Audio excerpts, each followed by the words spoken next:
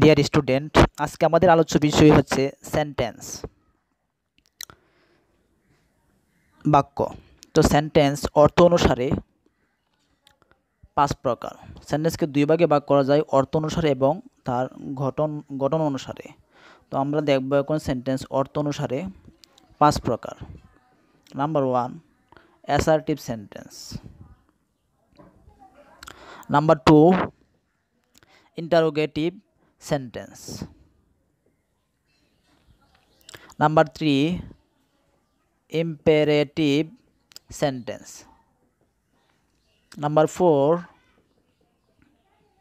optative sentence. Number five, exclamatory sentence তো এই পাঁচ প্রকার অর্থ অনুসারে এই পাঁচ প্রকার সেন্টেন্সকে আরও দুই ভাগে ভাগ করা যায় সেটা হচ্ছে অ্যাফার্মেটিভ সেন্টেন্স এবং নেগেটিভ সেন্টেন্স অ্যাফার্মেটিভ সেন্টেন্স এবং নেগেটিভ সেন্টেন্স সাধারণত পরীক্ষায় অ্যাফার্মেটিভ টু নেগেটিভ খুব বেশি বেশি আসে।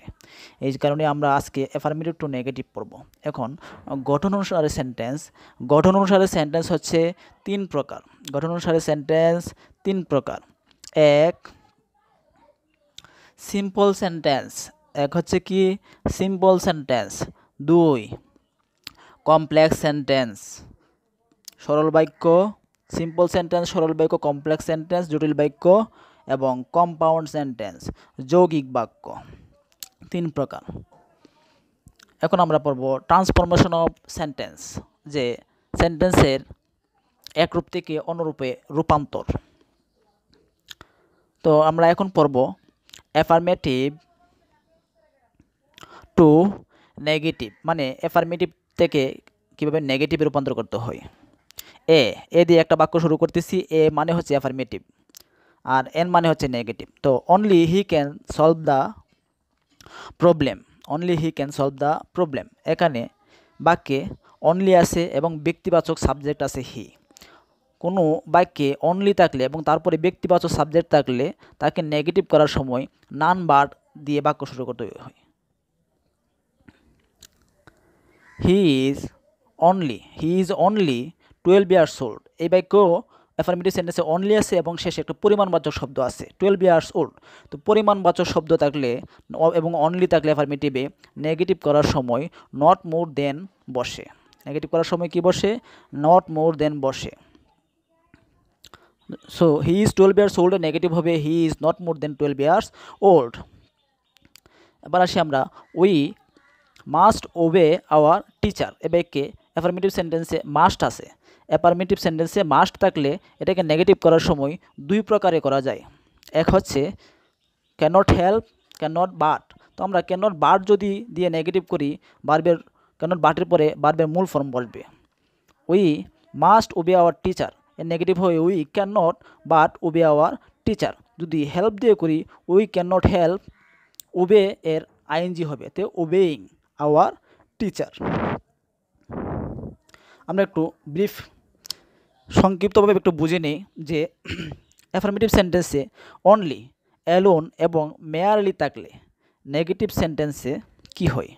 অনলি অ্যালোন এবং মেয়ারলি থাকলে নেগেটিভ সেন্টেন্সে সাধারণত নান বাট পরিমাচক, পরিমাণবাচক হলে বস্তুবাচক হলে নাথিং বাট ব্যক্তিবাচক হলে নান বাট পরিমাণবাচক হলে নট মোর দেন বসে, নট মোর দেন বসে। হি ইজ নট মোর দেন এখানে পরিমাণবাচক আছে আছে। ওকে, মাস্ট আছে, মাস্ট থাকলে ক্যান নট, বাট অনলি বাইকে অনলি আছে এবং ব্যক্তিবাচক আছে, তাহলে হবে নান বাট পরিমাণ, পরিমাণবাচক বোঝাচ্ছে, তাহলে নট নট মোর দেন হবে। কেন মাস্ট আছে? মাস্ট থাকলে অ্যাফার্মেটিভ সেন্টেন্সে কী হবে? মাস্ট অ্যাফার্মেটিভ সেন্টেন্সে মাস্ট আছে। মাস্ট থাকলে নেগেটিভ করার সময় ভালো করে খেয়াল করতে হবে। অবশ্যই নেগেটিভ করার সময় কি বসবে? মাস্ট থাকলে can not but can not but এবং can not help can not but বসলে বার্বের মূল ফর্ম বসবে এবং ক্যান নট হেল্প হলে বার্বের সাথে আইএনজি হবে। ওকে আমরা এখন আসি। He is weak he is weak in English and mathematics বা math he is weak in English and math এর নেগেটিভ কী হবে? এখানে একটা দুটি দুটি অবজেক্ট এন দ্বারা যুক্ত আছে। তাই হি নট অনলি এবং বাট অলসো দ্বারা নেগেটিভ করতে হবে। He is not only weak in English but also math দুটি অবজেক্টের থাকলে অ্যান্ড দ্বারা যুক্ত থাকলে নট অনলি এবং বাট অলসো দ্বারা নেগেটিভ করতে হয়।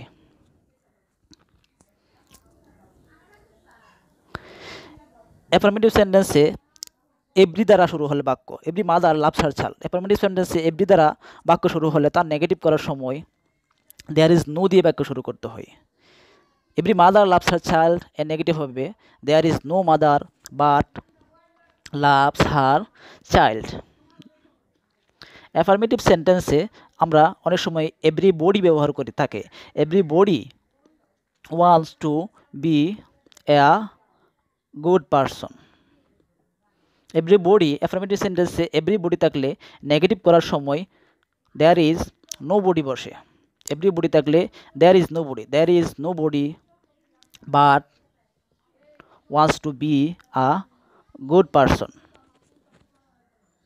okay affirmative সেন্টেন্সে অ্যাজ সুন এস দ্বারা বাক্য শুরু হলে নেগেটিভ করার সময় অ্যাফার্মেটিভ সেন্টেন্সে অ্যাজ সুন এস দ্বারা বাক্য শুরু হলে নেগেটিভ করার সময় নো সোনার হেড বসে। তো আমরা এখানে দেখি as soon as the thief saw the police police he ran away এর নেগেটিভ হবে no sooner had no sooner had no sooner had হলে এর বার্বের ফার্স্ট পার্টিসিপল হবে হবে seen no sooner had the thief seen the police then পরের পরের বাক্যাংশ হবে ফার্স্ট ইন্ডিপেন্ডেন্ট ফর্মে then he ran away then he ran away তো অ্যাফার্মেটিভ থেকে নেগেটিভ বাক্যগুলো আসলেই খুবই ইম্পর্টেন্ট প্রত্যেক ক্লাসের জন্যই। Class six to ten eleven twelve এমনকি চাকরি প্রত্যাশী যারা আছে সবার জন্য আসলে খুবই ইম্পর্টেন্ট এটা আসলে আমি নিজে পড়ার জন্য শিখতেছি। আপনারাও দেখেন। Dhaka is the biggest city in Bangladesh এটা একটা সুপারলেটিভ ডিগ্রি তো সুপারলেটিভ ডিগ্রিকে নেগেটিভ করার সময় এটা পজিটিভ ডিগ্রিতে নিয়ে যেতে হয়। এটা পজিটিভ ডিগ্রি করার সময় he is the biggest R Dhaka is the biggest city in Bangladesh এরকম দ্য বিগেস্ট সুপারলিটি থাকলে নেগেটিভ করার সময় no other city no other এবং নো আদার দিয়ে বাক্য শুরু করতে হয়। এরপরে অবজেক্ট দিয়ে অবজেক্ট দিতে হয়। তো no other city in Bangladesh এরপরে যে অ্যাডজেক্টিভ ফর্মটা আছে, এর আগে পিছে এজ এজ বসে। Okay we always attend the class we always attend the class affirmative সেন্টেন্সে অলওয়েজ থাকলে নেগেটিভ করার সময় নেবার বসে। নেগেটিভ করার সময় নেবার বসে নেবার বসে। এবং এরপরে যে বার বাসে এর বিপরীত শব্দ বসে। অ্যাটেন্ড এর বিপরীত শব্দ হচ্ছে miss so we always attend the ক্লাসের নেগেটিভ হবে we never miss the class he is he is too weak to walk সে এতই দুর্বল যে হাঁটতে পারে না। এটা affirmative sentence too dot dot too দ্বারা কোনো অ্যাফার্মেটিভ সেন্টেন্স শুরু হলে নেগেটিভ করার সময় সো ডট ডট ডেট দ্বারা নেগেটিভ করতে হয়। So he is too weak to ওয়াকের negative হবে। He is so weak that he can not walk that he can not walk man is mortal কিছু চিরন্তন সত্য আছে। চিরন্তন সত্য বাক্যকে অ্যাফার্মেটিভ থেকে নেগেটিভ করার সময় এদেরকে ইনডাইরেক্টিভ সেন্টেন্সে নিয়ে নিতে হয়। মানে প্রশ্নবোধক বাক্যে নিয়ে নিতে হয়।